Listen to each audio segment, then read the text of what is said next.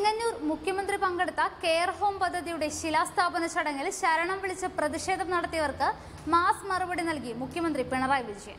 പ്രളയത്തിൽ വീട് നഷ്ടപ്പെട്ടവർക്ക് വേണ്ടി രണ്ടായിരം വീടുകൾ സഹകരണ മേഖലയുടെ സഹായത്തോടെ നിർമ്മിക്കുന്ന പദ്ധതിയുടെ ഉദ്ഘാടനത്തിന് എത്തിയതായിരുന്നു മുഖ്യമന്ത്രി.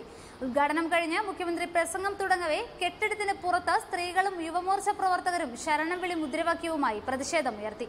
താൻ ശരണം വിളി ഒരുപാട് കണ്ടിട്ടുണ്ടെന്നും ഇതൊന്നും കണ്ട് പേടിക്കില്ലെന്നും മുഖ്യമന്ത്രി പറഞ്ഞു. മണ്ഡലകാലമല്ലേ ശരണം വിളിച്ചോട്ടെ എന്ന് പറഞ്ഞ് മുഖ്യമന്ത്രി പ്രസംഗത്തിലേക്ക് കടക്കുകയും ചെയ്തു. തുടർന്ന് ഇവരെ പോലീസ് അറസ്റ്റ് ചെയ്ത് നീക്കുകയായിരുന്നു. പരിപാടിയിൽ പങ്കെടുക്കാൻ വരുന്ന വഴിക്ക് ചെങ്ങന്നൂർ മുളക്കുഴിയിൽ വെച്ച് മുഖ്യമന്ത്രിയെ യുവമോർച്ച പ്രവർത്തകർ കരിങ്കൊടി കാണിച്ചിരുന്നു. ഇവരെ പോലീസ് അറസ്റ്റ് ചെയ്ത് നീക്കി.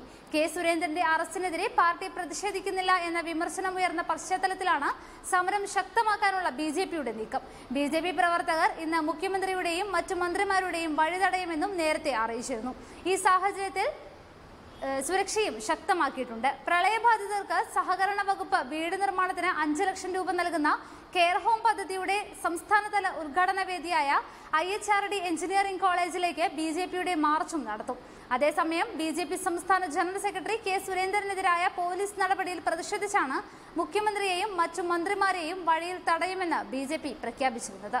കൂടുതൽ വാർത്തകളുമായി തിരിച്ചെത്താം.